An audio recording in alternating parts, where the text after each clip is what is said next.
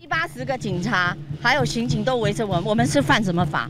自称是被害者，北市斯文里不同意户硬闯十八号早上三旗都根的开工典礼，要向柯文哲讨公道。如果说是你们的店面十一米。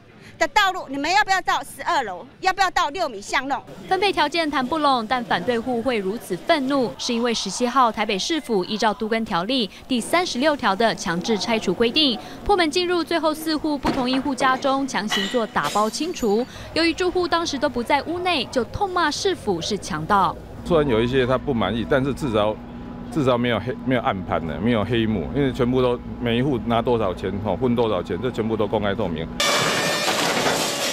强制清空拆除，柯批表示绝对合法，因为根据都更条例第三十六条，当实施者通知拆除日期时，所有权人有三十天去做自行迁移。三十天过后，如果还不走，政府就有权利自己动手，也不用为住户物品负责。住户要先来举出证据证明，说他有贵重的物品在里面，而且也遭市府搬迁的同时来去做仪式。那这些费用的部分，市政府就可以从将来要去给他们的补偿金里面来去做一点扣除。斯文里三期整宅新建，屋龄超过五十年，十八年前就喊出公办都根。柯文哲上任之后，花了两年半整合，全案耗资九亿元，终于启动，也让他感触很深。这个缺点你知道，太感情太丰富了。我还记得那时候那些居民哦，一直动在啊啊用啊，你是不过来骗的。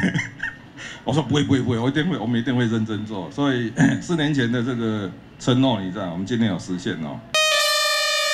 顺利完成都跟里程碑，柯皮也希望借此顺势推动接下来的一期、二期，让所有住户都能早日回新家。东森财经新闻，李仲祥、潘玉泉台北报道。